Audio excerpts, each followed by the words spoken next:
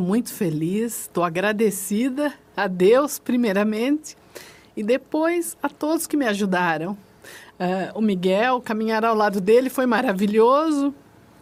E a minha família também, o Mário, a Giovana, minhas irmãs, minha mãe, todos que me ajudaram. E é um time, né? Porque nós não fazemos nada sozinho. Sim. A gente precisa de um time e esse time veio para me ajudar e eu sou muito feliz e agradecida. Eu só tenho gratidão dentro de mim. Foi um time de perto, um outro time de longe, aos vereadores que abraçaram a minha campanha.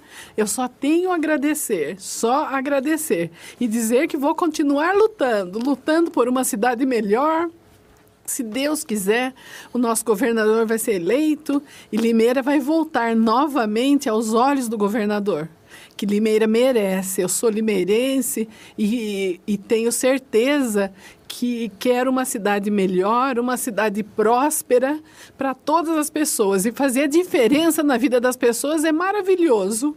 E é isso que eu quero na minha vida.